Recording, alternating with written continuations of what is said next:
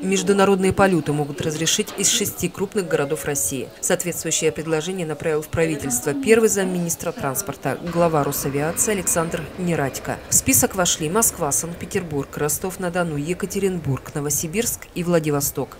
Аэропорты выбраны по географическому принципу. В каждом макрорегионе определена крупная воздушная гавань, через которую за рубеж смогут летать жители соседних городов. Россия закрыла международное авиасообщение с 27 марта на фоне роста числа зараженных заражения коронавирусом. В июле вице-премьер Татьяна Голикова заявила, что снятие ограничений на перелеты за границу в стране может начаться 15 июля.